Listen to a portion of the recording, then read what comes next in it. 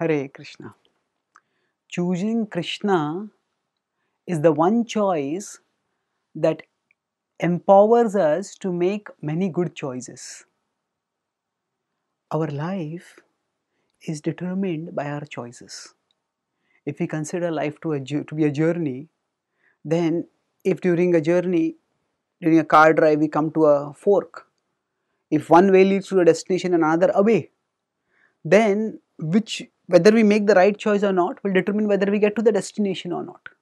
Similarly, in our life, periodically we come to forks, and whether we make the right choices or not will may determine whether our life will be uh, fruitful, whether we'll achieve something worthwhile, whether we'll be able to fulfill our dreams or not. Now, while choosing in a map, while, cho- while choosing uh, in a road journey, we just need to know the have a map which will guide us. Uh, and if say we have a, a good GPS on, and the GPS tells us take right, and then we'll be able to go there. So like that, uh, when it comes to making life choices, uh, what is it that ensures that we make good choices? Often we find that when the moment of choice comes, there is some impulsive force within us which pushes us in the wrong direction, which makes us do things which we had earlier resolved not to do, and yet we end up doing those things. So, here also we need knowledge. Knowledge not in terms of theoretical knowledge, but knowledge that guides us then and there, just as a GPS may guide us then and there. So the Bhagavad Gita explains that Krishna is present in our hearts and he is ready to guide us. If we just turn towards him, if we just seek his guidance, and turning towards him is not just a is not a physical activity. It's rather an activity of our consciousness. And it can't be done only at the moment of indecision. At the moment of indecision uh, the force of the temptation will frequently make us turn in the undesirable direction, in the default direction, which often is undesirable.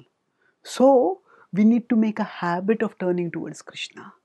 If we do that regularly, for example, during our chanting, during our practice of bhakti yoga, when we worship the deities, when we study scripture, when we associate with devotees, if at those times we are turning towards Krishna regularly, then whenever the temptation comes, we will be able to turn to Krishna at that time also.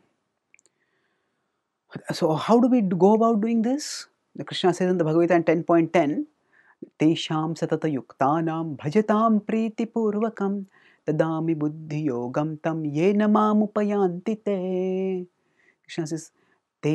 सतत युक्तानां those engage in a service भजताम Preeti and we worship Krishna serve Krishna affectionately not thinking that Krishna is a dictator and I have to obey him we see Krishna is a benefactor Krishna is a guide he is he is going to be like our online in inner GPS. Whenever we have to make decisions, turn right, turn left. Krishna is there to guide us. Dadami buddhi yogam tam. He will give us the intelligence by which we can attain him. Attaining him is life's ultimate destination. And that destination is achieved to the extent we make right choices throughout our life journey. And Krishna will guide us to make those right choices if our heart is turned towards Him. So, therefore, if we make it a consistent determination to choose Krishna, so when we are practicing bhakti, we commit ourselves to absorb ourselves in Krishna. When the mind says, Watch this, touch this, see this, no, I choose Krishna. If we are choosing Krishna at that time, then this is the one choice that will empower us to make many good choices. Because this one choice will please Krishna, will make us turn towards Krishna, and when our heart is turned towards Him, then we will hear His voice, we will be tuned to His frequency, and then that inner voice will warn us no, this is not the path for you, this is the path. And thus we will be able to make good choices. So rather than seeing our bhakti as just one activity of our life and our rest of our life as dependent on our intelligence, our initiative, our hard work, we need to see them both as symbiotic. And to the, the more we diligently choose Krishna in our devotional activities, the more we will be able to make good choices in our entire life. Thank you. Hare Krishna.